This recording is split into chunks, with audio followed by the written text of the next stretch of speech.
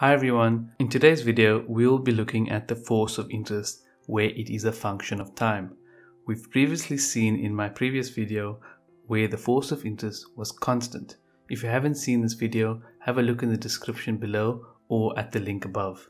So we've previously seen when our force of interest is constant, we get to the following accumulation factors and discount factors. And these would help us to work out the present values or future values of payments. We now have a force of interest that is a function of time.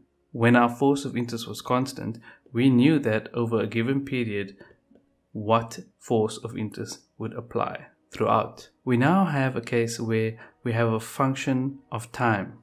And what this means is that we have a force of interest that applies differently depending on the time period.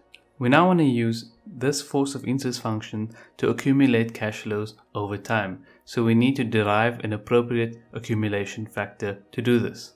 So we start by considering an amount AT at time t. And we know that this is the accumulated amount of our initial value of A0, which we invested at time 0. So what this really means is that our AT is in fact our A0 plus some interest that we've earned along the way. We can see very quickly that we have an accumulation factor here, which is AT over A naught. And this is our accumulation factor as it applies from time 0 to t. Now, building on this example, we see that if we've got AT and AT eventually grows to AT plus 1 over the period from t to t plus 1 and we are using an effective rate of i, then basically this means that our effective interest rate is equal to AT plus 1 minus what we started off with divided by AT. And we can show a quick example that if we ended up with 110 and started off with 100, then we know that our effective interest rate, where the interest is paid at the end of the period, is 10%. Now building on this, what we're really trying to do is we're looking at time periods that are really, really small. So if over our time period from t to t plus 1, we are able to divide up our period into very, very, very small pieces and we are able to zoom in and look at this very small time period from t to t plus h, for example, we can find what the interest that we earned over this very small period in a similar way. We do this by saying, as we've seen in the previous slide, we start off with what we end up with, less what we started off with. And this is effectively the interest that we earned over the very small period h. Now, what we want to do is we want to annualize this amount. And we do that by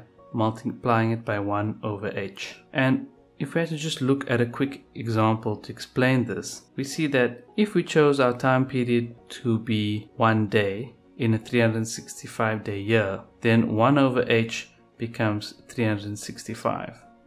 So if this is the interest that we're earning over one day, then by multiplying it by 365, we have the interest that we've earned over the entire period or the entire year. So what we want to do now is we want to take the limit as h tends to 0.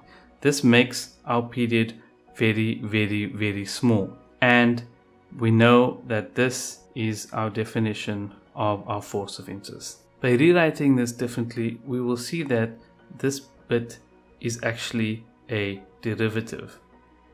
And what this means is it collapses very nicely into a simple formula as follows. And now we have our force of interest function as a function of an accumulated value. But to tidy this up further, we can use the chain rule as follows. And by doing this, we have a function as follows. This means we have our force of interest function expressed in two different ways. Now we can use this to work out what our accumulation factor will be. So if we look at the case where we have a constant force of interest, we know that an accumulation of 1 at time t will simply be 1 plus i to the power t. This is our compound interest formula. Plugging this in, doing the maths, using the log power rule, we get to this function over here. And since our formula now does not have t in it, is no longer a function of t, and we're left with ln 1 plus i. And this we've already seen in the previous video. If you haven't checked this out yet, please see the link above or in the description below. Now when we get to the scenario where our force of interest function is a function of time, we need to integrate from time t1 to time t2. Looking at the function itself, we can see that it is a derivative of ln at. And when we integrate, we ask ourselves the question, what is the antiderivative of our function? And in this case, it is simply ln at. So we evaluate ln at from time t1 to time t2. And following through the integration using the rules that we know, we can see that we end up with ln a t2 over a t1.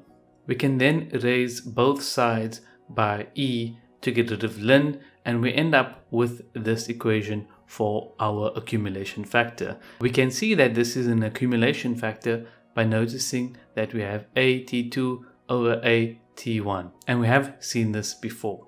So more formally, when we have a variable force of interest function, we know that we simply integrate our function from times t1 to time t2 to get our accumulation function.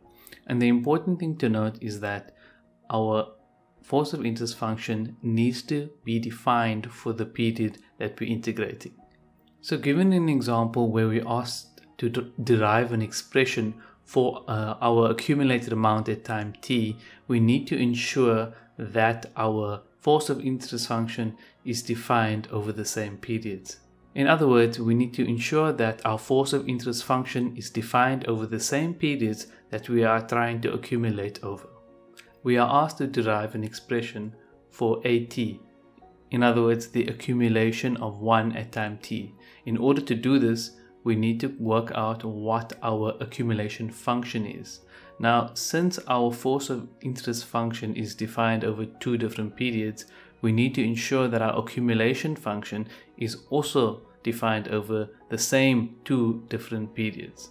We then first will integrate from time 0 to t and for the second period we now need to integrate from time 0 to 10 because at time t greater than 10 we've already covered the period from time 0 to 10 so that'll be there that that'll be included in this new period. And then we also need to integrate from time 10 to time t. So this involves two different integrals or two different equations that are multiplied together. So it's important to understand the period that you're working over to ensure that you're using the right force of interest variables now we've spoken about the accumulation factor. Here we're working out the discount factor, which is simply the inverse of the accumulation factor. As a key takeaway, we know that the force of interest is a theoretical measure, but it's still useful to approximate interest that is paid very frequently. Typically, we'll be given a force of interest function that is defined over different time periods, and we need to make sure to manage this. We've seen what our accumulation factor is, and what our discount factor is. So it's important to use timelines when you do your calculations so that you're ensuring that you're using the right force of interest that is defined for the right period of time. It's very important to revise your rules of integration because this is one of the easiest ways to lose marks in these type of calculations. I've added a link to a integration cheat sheet which will help you devise all your rules of integrations. See the description below. And that brings us to an end. I hope you enjoyed the video. If you're finding this useful, please share it with your friends and please subscribe to the channel.